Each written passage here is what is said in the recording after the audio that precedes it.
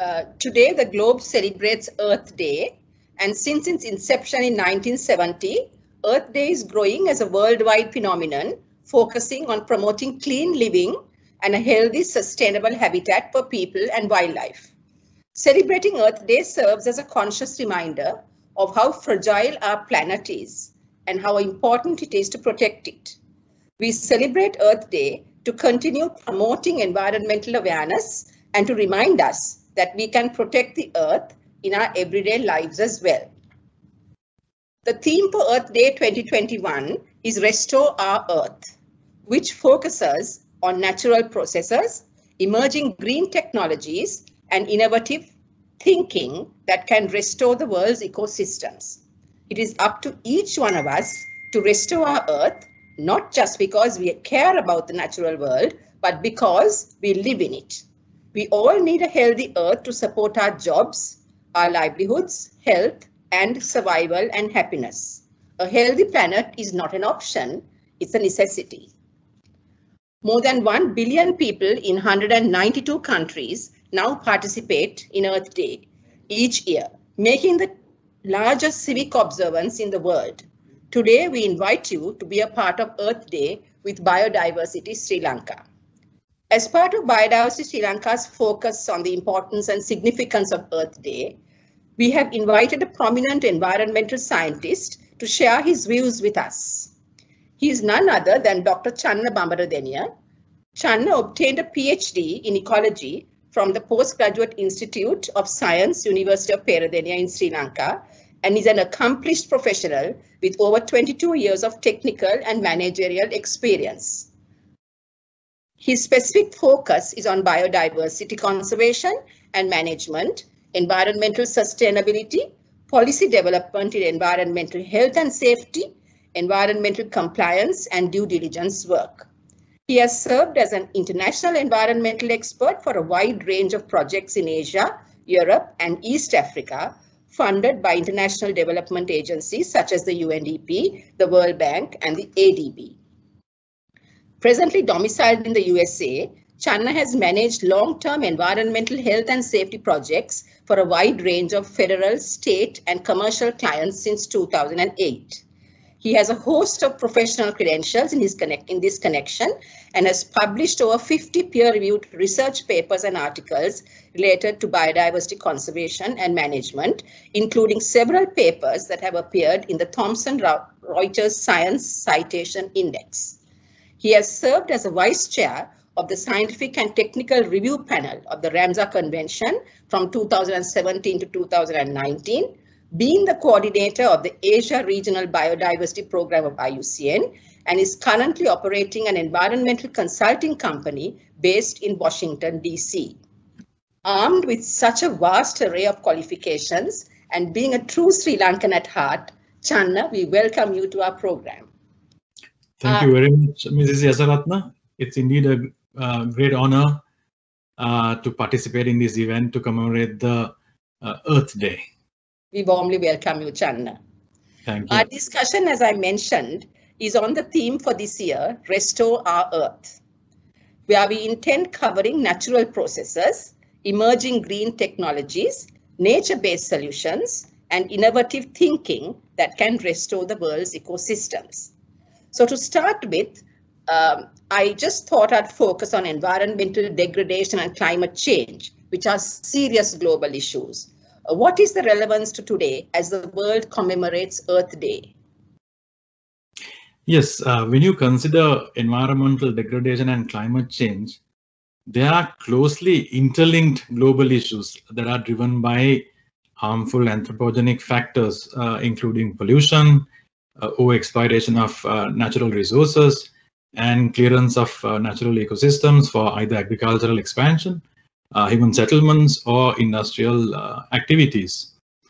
Um, the world has already experienced the visible impacts of global climate change on the environment. For example, it is well documented that our glaciers have shrunk. Uh, certain plant and animal distribution ranges have shifted uh, trees, especially in the uh, subtropical and temperate regions, are now flowering sooner. and there is a, a rapid spread of um, agricultural pests, parasites, uh, invasive alien species, and also human disease-causing agents as we experience today with uh, COVID-19. Uh, there are extreme weather events such as prolonged drought uh, or high rainfall within a very short period of time, leading to flash floods in certain areas. Um, then there are strong and more intense hurricanes.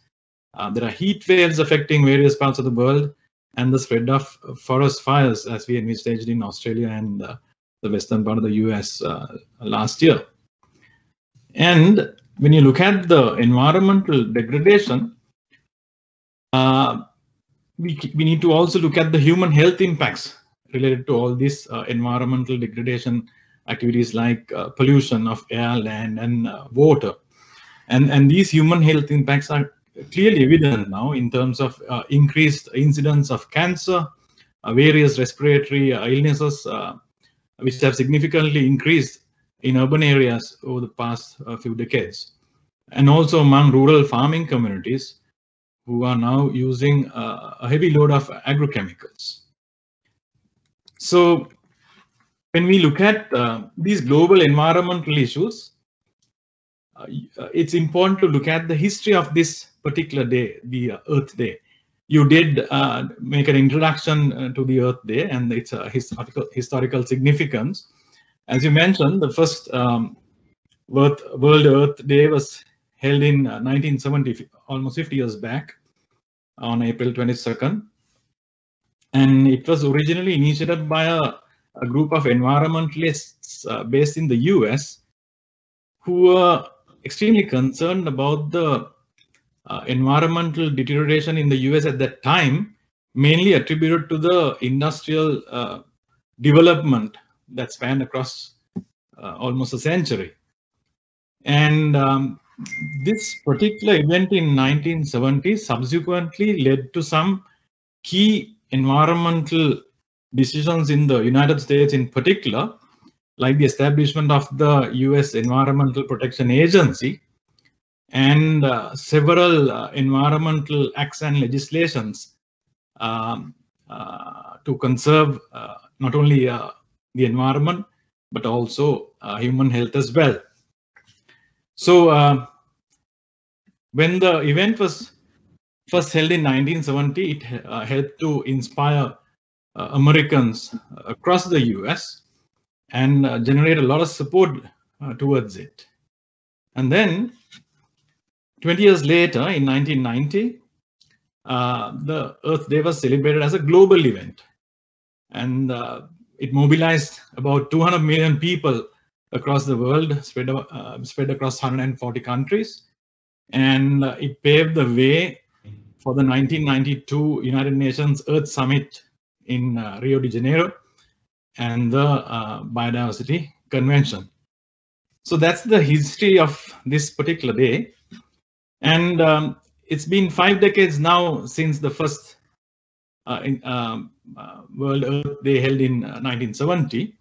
And during this period, the world has seen a rapid growth of human population, along with an increase in uh, consumption patterns, uh, global trade, and also uh, urbanization, uh, which have all led to us using more of the Earth's uh, resources that it can replenish naturally. You know, there is very the current um, use of natural resources is extremely unsustainable and the world is not able to naturally uh, replenish the resources that we consume. Uh, and the climate change related impacts have uh, progressively increased over the past five decades. So when we commemorate the World Earth Day uh, today, it gives us an opportunity to recognize its uh, historical significance and understand the gravity of the environmental degradation uh, climate change, uh, especially the visible impacts of climate change, uh, and how all these uh, issues have affected our own well-being. Uh, it is also a historical day that led to significant actions to address these harmful issues. uh, and uh, make sure that uh, they relevant governments look into these issues. And uh, actions are implemented at different levels uh, and establish global networks for a common cause in terms of uh, environmental conservation and also to set up global local and national policies to ensure environmental sustainability. Yeah now, uh, Channa, you know that the UN has declared 2021 to 2030 as the decade for ecosystem restoration. And the urgency to conserve the shrinking natural capital that you mentioned is very important in this context. Now, despite this urgency, globally, uh, forests and fragile ecosystems are being lost at a rapid pace. Uh, have you any thoughts about that? Yes, uh, as I uh, mentioned earlier, now it is well documented that uh, greenhouse gas emissions and pollution are continuing to increase, uh, largely driven by unsustainable uh, economic expansion and human population growth. Uh, in the meantime, the Earth's biodiversity and natural resources continue to show a consistent declining trend. So it is in this context that the, the United Nations is planning to officially launch the decade of uh, ecosystem restoration on uh, June 5th of 2021, which happens to be the World Environment Day. it is a global program intended to prevent or um, curb degradation of ecosystems uh, on a global scale in every continent, uh, focusing not only on terrestrial ecosystems, but on, on the ocean ecosystem as well. Uh, of course, the um, it is intended to, you know, combat uh, climate change and also bring solutions to uh, poverty in developing countries. also curb the current mass extinction of species, species happening at a global level.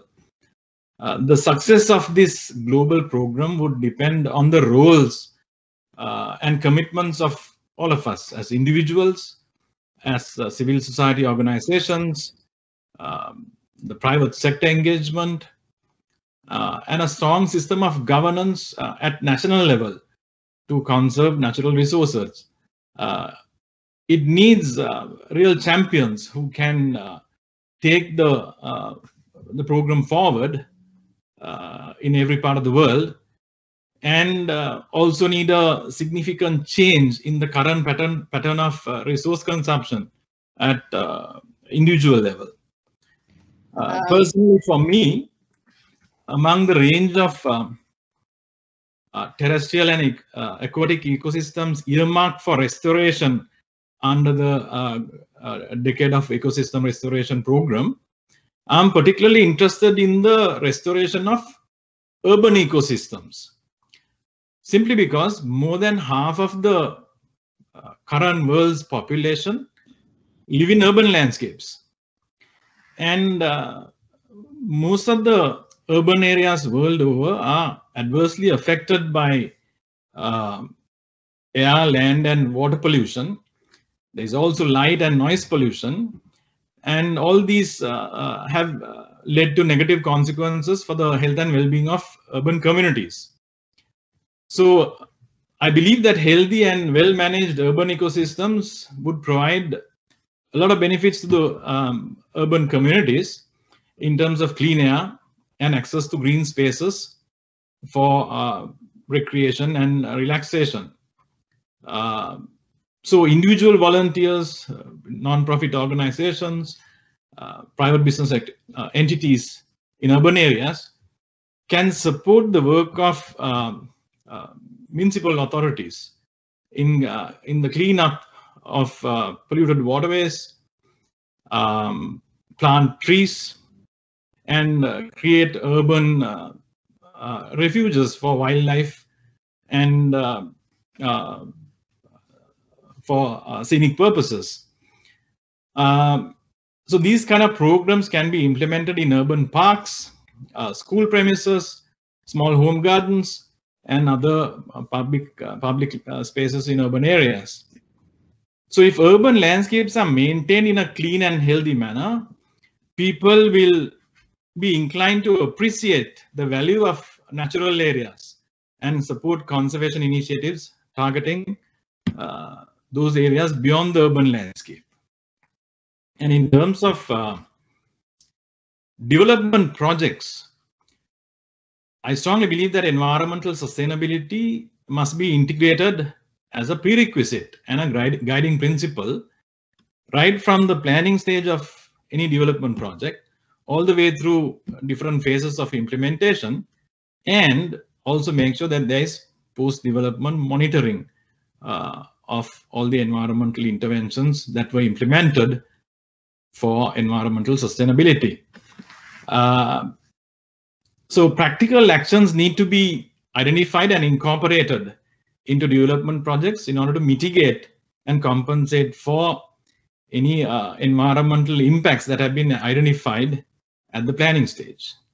So that yeah. is my uh, um, now we talked about the global sense, but in our own country, in Sri Lanka, Sri Lanka is grappling with its own development issues. And as you know, quite a number of a large population in the country remain under subsistence agriculture.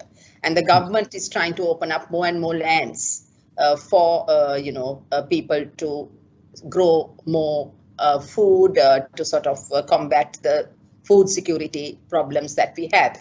Now, you know more than me that this country is endowed with a, a very unique biodiversity and every bit of it is um, as fragile as can be. So in this process of opening up new lands for agricultural purposes uh, and, you know, the other impacts that could arise with it, like say the human elephant conflict, uh, you know, where when, when you open up elephant corridors, it's even in, uh, you know, forested areas, uh, there can be other impacts. So how can a developing country like Sri Lanka, which is looking at subsistence agriculture for its populations, uh, you know, safeguard its natural resources as well as give some hope to the rural populations uh, for uh, uh an economic, uh, you know, activity? What are your thoughts about that? Yes, um, I have uh, read various news articles and also got information from my colleagues living in Sri Lanka about the current uh, status of uh, uh affairs in relation to uh, environmental degradation. And I'm really um, uh, sad to see uh, what's happening. especially in the current context of global climate change and environmental degradation, the Sri Lankan government's policy decision to clear forest land in rural areas for agricultural expansion um, and and as a means of poverty reduction, uh, for also for food security, I think is a recipe for disaster and a gross failure.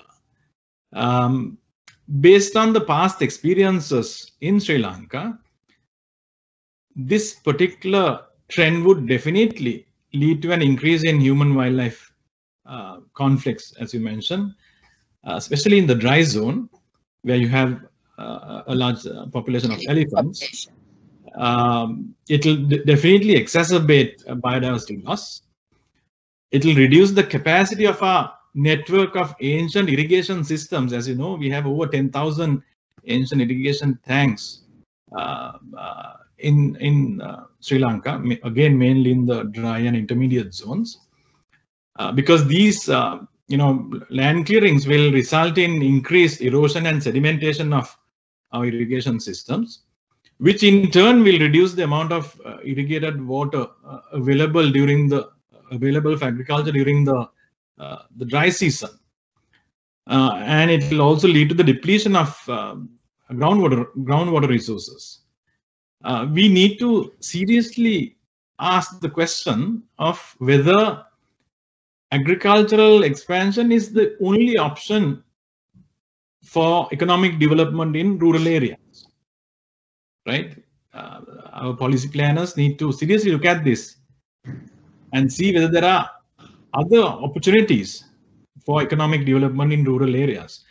For example, I'm thinking whether uh, these areas that are being opened can be mapped and the more fragile areas left out like the elephant corridors and you know those kinds of very significant areas and maybe the unproductive uh, forest areas opened up uh, in certain places. So i think there's some kind of land use planning that needs that to has be to that has to be uh, taken into consideration without any haphazard policy decisions taken on the go. Yes. You need to look at those dimensions that you very correctly mentioned. And um, uh, also another important factor here is since we are an island nation our land resources to cater to the demand demands of a growing human population is very limited right so from past experiences we know that conventional agriculture not only requires a vast amount of land but it also consumes a vast amount of fresh water, which is another major environmental uh, issue uh, that we face today. So studies have also shown that uh, increased use of fertilizers in uh, conventional agricultural uh, systems uh, tend to release more greenhouse gases such as nitrogen oxide, which contributes to climate change. Um, overall, the carbon footprint of conventional agricultural land areas is pretty high. Not only conventional agriculture, for example, even in large scale uh, modern farms. Therefore, uh, rather than clearing forest land in rural areas for agricultural expansion, the government should focus on ways to increase agricultural productivity in existing and abandoned agricultural lands and even intensified farming, I suppose. Use intensified farming techniques. Exactly, yeah. correct. Yeah, if higher take, yields can be obtained in the same land area. Yeah. Yes. When I was doing my um, PhD research uh, about 25 years back, uh, there was supposed to be around 750,000 uh, hectares of paddy land in Sri Lanka, but not all of them were uh, arable or cultivated. There were a lot of abandoned agricultural lands at that time, and I'm sure more of such lands must be there as of now, two decades yes. later. So uh, we need to focus on increasing the productivity in abandoned agricultural lands using new technologies, modern agricultural techniques.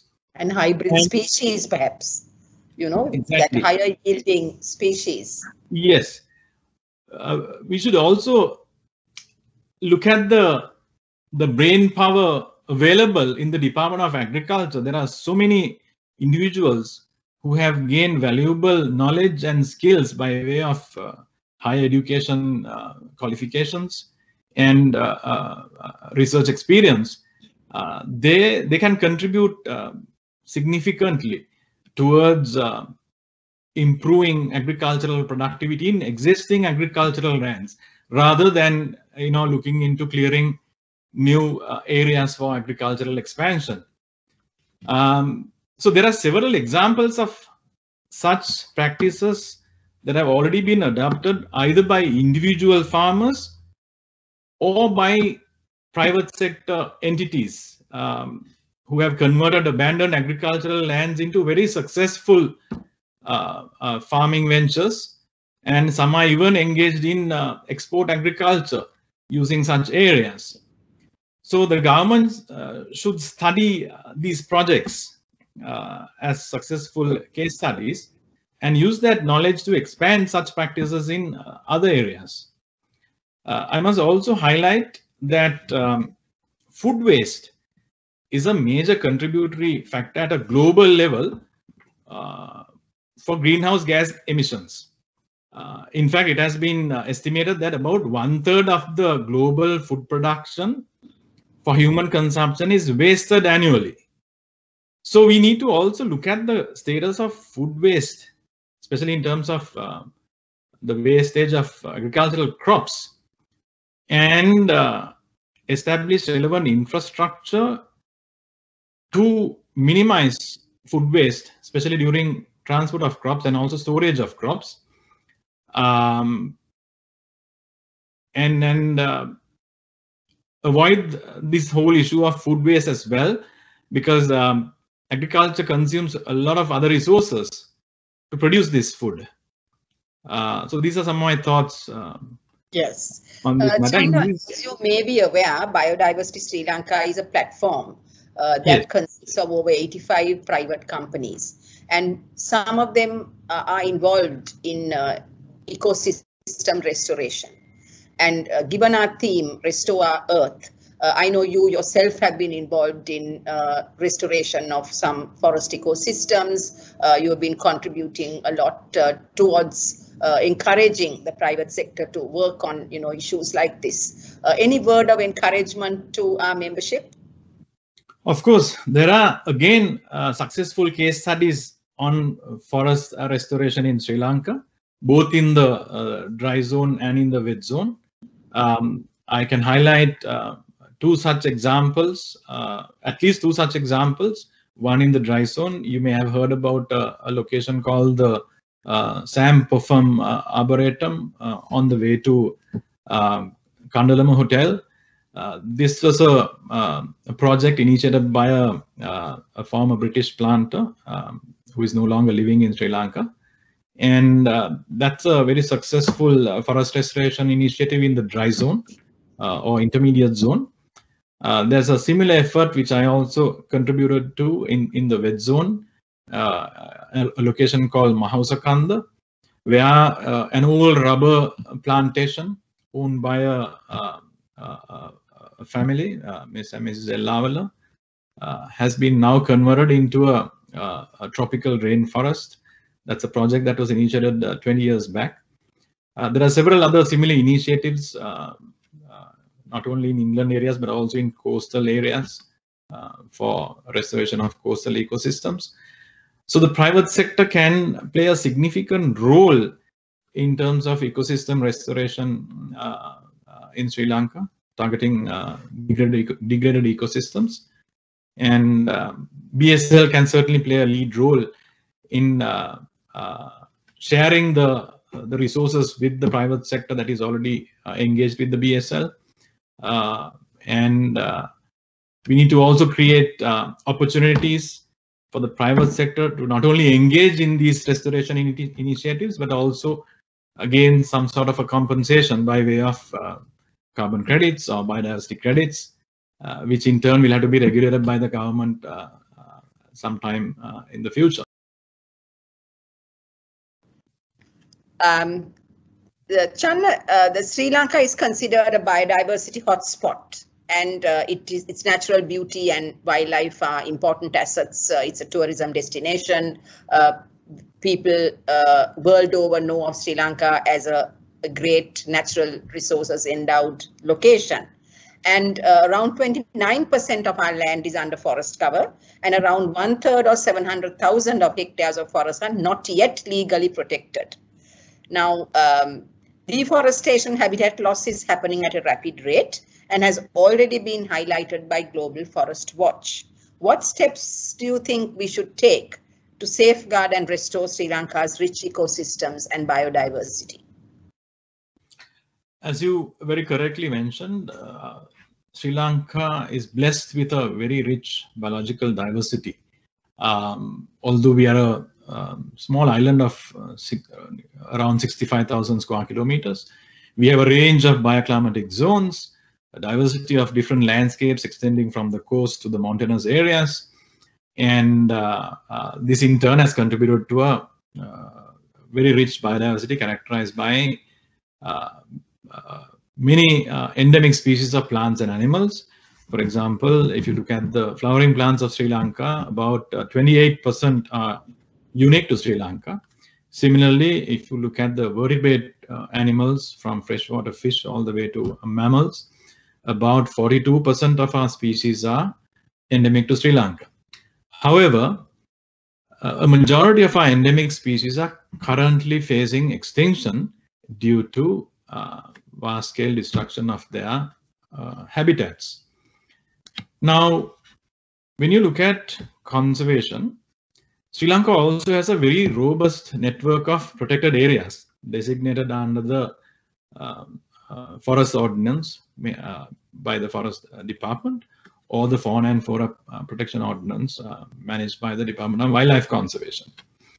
In addition, we have other government entities like Coast Conservation Department, which has a mandate to uh, conserve coastal areas, while the Central Environmental Authority has a clear mandate to protect the environmental environment under the National Environmental Act.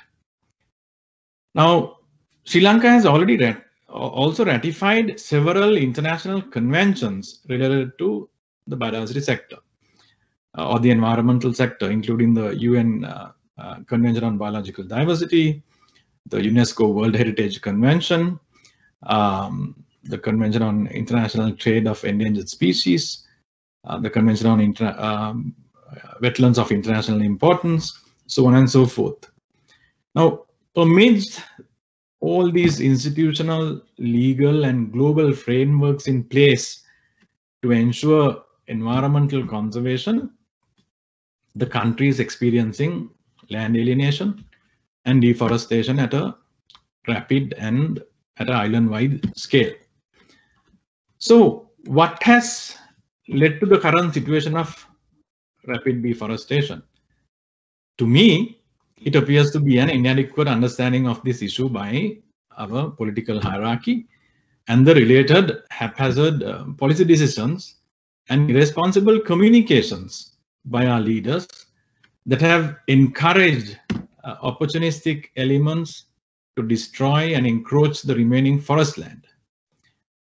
It is certainly a very dangerous uh, precedence and uh, we need to act fast to address this situation and uh, I can um, suggest some options to address the current situation in, in uh, Sri Lanka. First and foremost, law enforcement to, uh, to, to curb the, the, the wanton destruction of forests is of prime importance.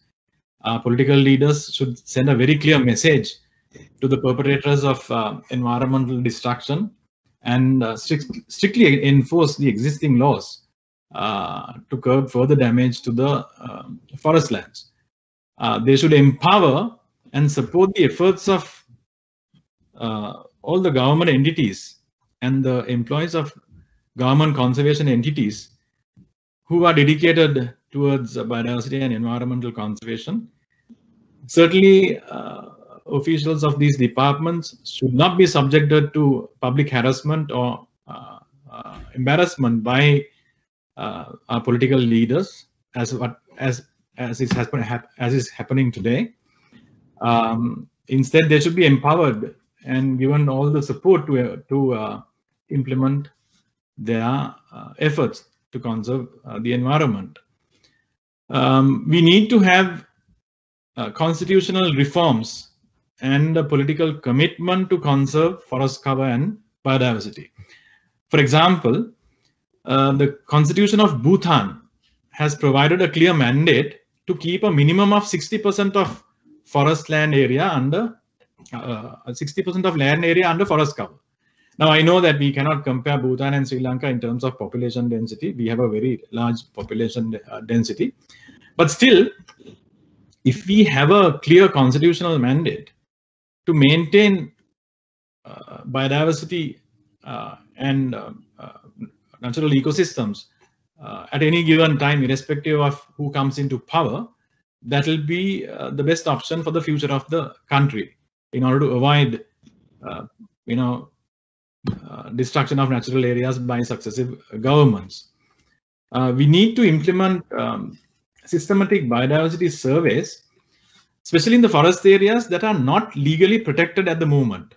In order to identify biodiversity hotspots within these areas um, and incorporate them into the existing networks of protected areas, plus identify areas that can be set aside for sustainable development activities like, um, for example, take the tourism sector.